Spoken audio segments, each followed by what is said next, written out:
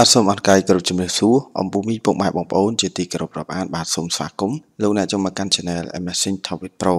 សូមគោរពនឹងជម្រាបជូននៅអត្ថបទព័ត៌មានថ្មីថ្មីនិងព័ត៌មានក្តៅក្តៅផងដែរគឺពាក់ព័ន្ធទៅនឹង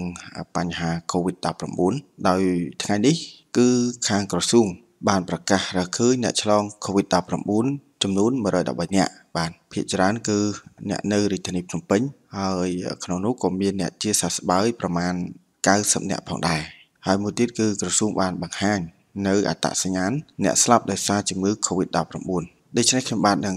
លម្អិតជូននៅអត្ថបទព័ត៌មាននេះដូចតទៅក្រសួងសុខាភិបាលនៅព្រឹកថ្ងៃទី8ខែមេសាឆ្នាំ2021បានចេញសេចក្តីប្រកាស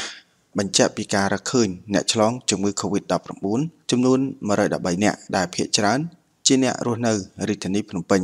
ខណៈអ្នកជាសះស្បើយមានប្រមាណ90នាក់និងអនុញ្ញាតឲ្យចេញពីមន្ទីរពេទ្យ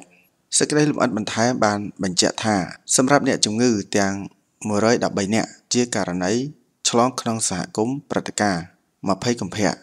ដែលមានអ្នកនៅរាជធានីភ្នំពេញចំនួន103នាក់អ្នកខេត្តស្វាយរៀង3នាក់អ្នកខេត្តកណ្ដាល3នាក់ខេត្តប្រសេះអនុ3នាក់និងខេត្តកំពត1នាក់ដែលឡែកសម្រាប់អ្នកជាសះស្បើយមានប្រមាណ90នាក់ក្នុងនោះ មានអ្នកធ្វើដំណើរមកពីក្រៅប្រទេសចំនួន2នាក់និង88នាក់ទៀតជាករណីឆ្លងក្នុងសហគមន៍ព្រឹត្តិការណ៍20កុម្ភៈដោយទទួលលទ្ធផលធ្វើតេស្តវិជ្ជមានពីរលើកត្រូវបានអនុញ្ញាតឲ្យចេញពីមន្ទីរពេទ្យប៉ុន្តែត្រូវធ្វើចាត់តាលិស័ក14ថ្ងៃដើម្បីតាមដានសុខភាពសូមជម្រាបថាគិតត្រឹមម៉ោង7ព្រឹកថ្ងៃទី8ខែមេសាឆ្នាំ2021នេះកម្ពុជាបានរកឃើញអ្នកឆ្លងសរុបប្រមាណ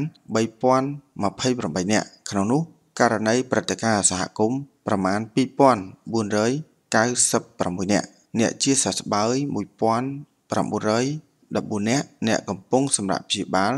1085នាក់អ្នកស្លាប់ដោយសារជំងឺ Covid-19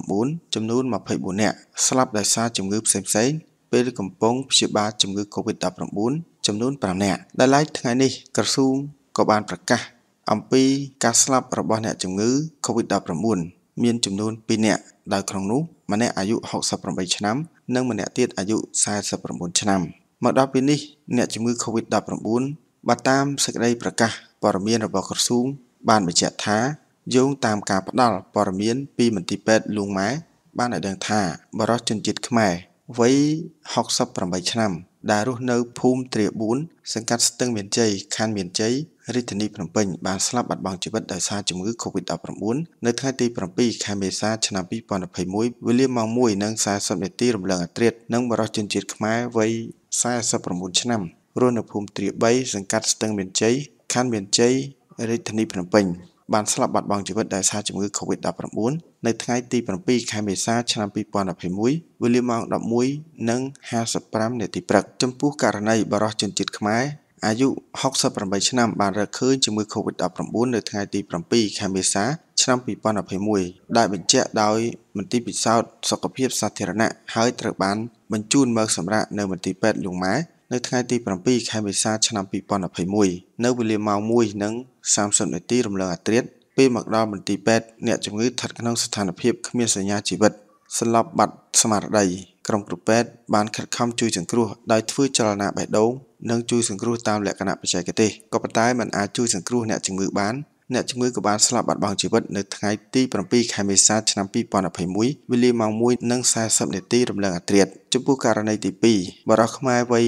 49ឆ្នាំអ្នកជំងឺត្រូវបានបញ្ជាក់ថាមានវិជ្ជមាន COVID-19 ដោយមន្ទីរពិសោធន៍សុខភាពសាធារណៈដូចគ្នាពេលមកដល់មន្ទីរពេទ្យអ្នកជំងឺស្ថិតក្នុងស្ថានភាពធ្ងន់ធ្ងរក្រុមគ្រូពេទ្យបានខិតខំព្យាបាលតាមលក្ខណៈបច្ចេកទេស យ៉ាងយកចិត្តទុកដាក់ក៏ប៉ុន្តែដោយសារតែអ្នកជំងឺមានស្ថានភាពជំងឺធ្ងន់ធ្ងរការវិវត្តជំងឺពីមួយថ្ងៃទៅមួយថ្ងៃកាន់តែធ្ងន់ធ្ងរឡើងរហូតដល់ថ្ងៃទី7ខែមេសាឆ្នាំ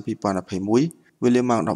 11:55នាទីអ្នកជំងឺក៏ស្លាប់បាត់បង់ជីវិតតែម្ដងការសន្និដ្ឋានរបស់ក្រុមគ្រូពេទ្យករណីបរោះវ័យ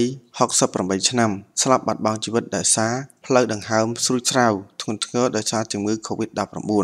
2ចំពោះករណីបរោះ ជនជាតិខ្មែរវ័យ49ឆ្នាំខាងលើស្លាប់បាត់បង់ជីវិតដោយសារផ្លូវដង្ហើមធ្ងន់ធ្ងរស៊ូចស្រាវ និងរលាកសួតសងខាងធ្ងន់ធ្ងរដោយសារជំងឺ Covid-19 ក្រសួងសុខាភិបាលសូមចូលរួមចំណែកសោកស្ដាយយ៉ាងពន់ពេកនិងសូមចូលរួមមរណទុក្ខយ៉ាងក្រៀមក្រំបំផុតជាមួយនឹងក្រុមគ្រួសារនៃសព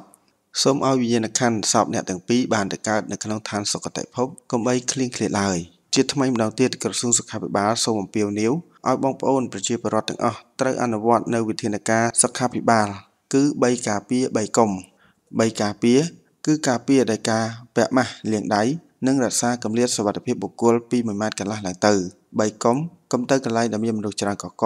កុំទៅកន្លែងដែលបិទជិតគ្មានខ្យល់ចេញចូល និងកុំប៉ះពាល់គ្នាពេលដែលជួបគ្នា កុំអោបគ្នាកុំចាប់ដៃគ្នានិងកុំគៀកកគ្នាជាដើមបាទហើយចំពោះអត្ថបទព័ត៌មាននេះខ្ញុំបាទសូមបញ្ចប់តែប៉ុណ្ណេះជួបគ្នានៅវីដេអូក្រោយៗទៀតសូមអរគុណសូមគោរពលា